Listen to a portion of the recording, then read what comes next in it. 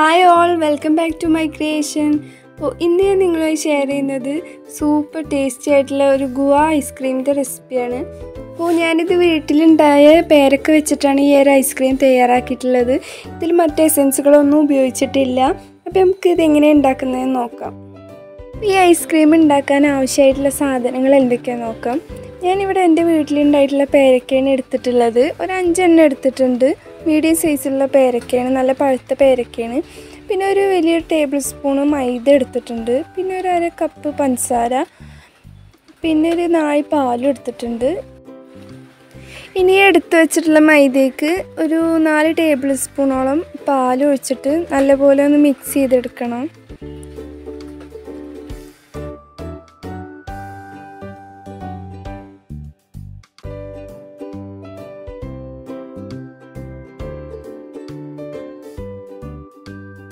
അപ്പം ഇത് കട്ടുകളൊന്നും ഇല്ലാതെ നല്ലപോലെ ഇളക്കിയെടുക്കണം.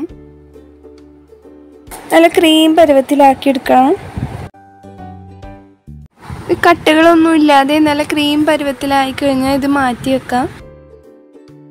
എന്നിട്ട് ഞാനൊരു മിക്സിയുടെ ജാർ എടുത്തിട്ട് എടുത്തു വെച്ചിരുന്ന പഞ്ചസാര ഇട്ടിട്ട് ഒന്ന് പൊടിച്ചെടുക്കുകയാണ് അപ്പോൾ ആദ്യം ഇങ്ങനെ ഒന്ന് പഞ്ചസാര പൊടിച്ചെടുക്കുമ്പോൾ നമുക്ക് നല്ല നല്ലപോലെ പഞ്ചസാര അലിഞ്ഞ് കിട്ടും. പേരൊക്കെ ഇട്ടിട്ട് അങ്ങനെ ഒരുപാട് അടിച്ചെടുക്കരുത്.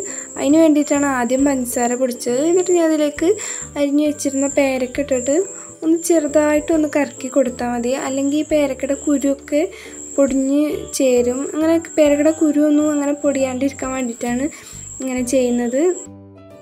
എന്നിട്ട് ഇത് അരിയാൻ ആവശ്യമായിട്ടുള്ള പാൽ ഒഴിച്ചിട്ട് ഒന്ന് അരച്ചെടുക്കാം. ഒരുപാട് അരക്കരുത് ചെറുതായിട്ട് അരച്ചാൽ മതി. എന്നിട്ട് അരച്ചെടുത്തിട്ട് ഞാനൊരു പാനൊരു എടുത്തിട്ടുണ്ട്. അതിൽക്കൊരു അരിപ്പ വെച്ചിട്ട് ഇതൊന്ന് അരിച്ചു കൊടുക്കാം. അപ്പോൾ ഇവിടെ ഒരുപാട് അരക്കാത്തതുകൊണ്ട് ഇതിൽ കട്ടകളൊക്കെ ഉണ്ട്. അതുപോലെ തന്നെ കുരുവൊന്നും വല്ലാണ്ട് അരയാണ്ട് കിട്ടിയിട്ടുണ്ട്. അപ്പോൾ നിങ്ങളും ഇതുപോലെ ഒരുപാട് അരയാണ്ട് ശ്രദ്ധിക്കുക. ഐസ്ക്രീമിൽ ഇതിന്റെ കുരുവൊന്നും പെടാണ്ടിരിക്കാൻ വേണ്ടിയിട്ടാണ്. അല്ലെങ്കിൽ ഐസ്ക്രീം കഴിക്കുമ്പോൾ ഒരു തരിതരിപ്പ് ഉണ്ടാവും അതില്ലാണ്ടിരിക്കാൻ വേണ്ടിയിട്ടാണ്. ഞാൻ അടുത്തതും ഇതുപോലെ തന്നെ അടിച്ചിട്ട് അരിച്ചെടുത്തിട്ടുണ്ട്. അപ്പോൾ അടിക്കാൻ വേണ്ടി എടുത്തിരുന്ന പാലിൽ കുറച്ചും കൂടി ബാക്കിയുണ്ട്. അതും കൂടി ഞാൻ അതിലേക്ക് ചേർത്ത് കൊടുത്തിട്ട് നല്ലപോലെ ഇളക്കിയിട്ട് യോജിപ്പിച്ചെടുക്കുക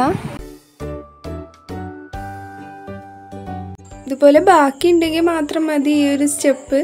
എനിക്കിപ്പോൾ ഇത് അടിച്ചിട്ട് ബാക്കിയുള്ളതുകൊണ്ട് മാത്രമാണ് ഞാനിതിങ്ങനെ ചേർത്തിട്ട് ഇളക്കി കൊടുക്കുന്നത്. എന്നിട്ട് ഞാൻ നേരത്തെ മൈദയും പാലും മിക്സ് ചെയ്ത് വെച്ചിരുന്ന ആ ഒരു മിക്സ് ഇതിൽക്ക് ചേർത്ത് കൊടുത്തിട്ട് നന്നായിട്ടൊന്ന് ഇളക്കി യോജിപ്പിക്കാം ഇതൊരു ക്രീം പരുവത്തിൽ കിട്ടാൻ വേണ്ടിയിട്ട് അടുപ്പിൽ വെച്ചിട്ടൊന്ന് കുറുക്കിയെടുക്കണം. അപ്പം അതിന് മുന്നേ നമ്മൾ ആ മാവ് ഇങ്ങനെ ഒഴിച്ചാൽ അടുപ്പിൽ വെച്ചിട്ട് ഒഴിക്കുമ്പോൾ പെട്ടെന്ന് കട്ടയാവും. അപ്പം അതിന് മുന്നേ അതിന് വേണ്ടിയിട്ടാണ് ഒഴിച്ചിട്ടുള്ളത്. അപ്പം അതിന് ശേഷം നമ്മൾ സ്റ്റൗവിൽ വെച്ചിട്ട് ഇതുപോലെ ഇങ്ങനെ ഇളക്കിയിട്ട് ഇത് അടി പിടിക്കാതെ ഇളക്കി കൊടുത്തിട്ട് വേവിച്ചെടുക്കുക.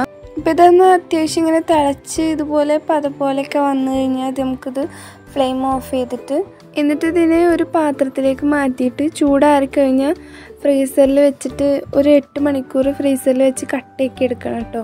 ഓ അതുപോലെ ഞാൻ കട്ടയൊക്കെ എടുത്തിട്ടുള്ളതാണിത്. ഇനി ഇതിനെ ഒരു മിക്സിയുടെ ജാർ എടുത്തിട്ട് ഒന്ന് അരച്ചെടുക്കാം ഒരുപാട് അങ്ങ് അരച്ചെടുക്കുകയൊന്നും വേണ്ട. ചെറുതായിട്ടൊന്ന് കറക്കിയെടുത്താൽ മതി. പിന്നെ അത് രണ്ട് പ്രാവശ്യമായിട്ടാണ് അരച്ചെടുക്കുന്നത്.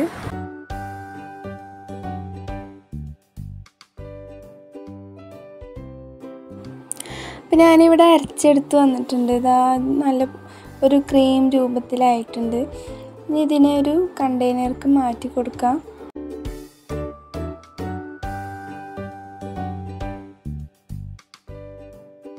ബാക്കിയുള്ളതും കൂടെ ഞാൻ ഇതുപോലെ അടിച്ചെടുത്തിട്ടുണ്ട്.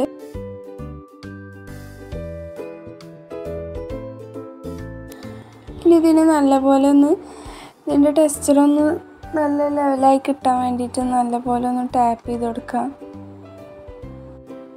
അപ്പം നല്ലപോലെ ടാപ്പ് ചെയ്തിട്ട് ഇതുപോലെ ഇതിന്റെ അടപ്പ് വെച്ചിട്ട് അടച്ച് വെച്ചും കൊടുക്കാം. അല്ലെങ്കിൽ ഇതുമ്മേ ഐസ് ക്രിസ്റ്റൽസ് ഒന്നും വരാണ്ടിരിക്കാൻ വേണ്ടിയിട്ട് ഇതുപോലെ ഞാനൊരു കവർ വെച്ച് കൊടുക്കുന്നുണ്ട്. എന്നിട്ട് ഇതിന് ഒരു രണ്ട് മണിക്കൂർ ഫ്രീസറിൽ വെച്ചാൽ മതി. അപ്പോഴേക്ക് ഐസ്ക്രീം റെഡിയാവും അപ്പോൾ ഞാനിതാ ഇവിടെ രണ്ട് മണിക്കൂർ വെച്ചിട്ടുള്ള ഇതാണിത്. ഇവിടെ ഐസ്ക്രീം റെഡി ആയിട്ടുണ്ട്.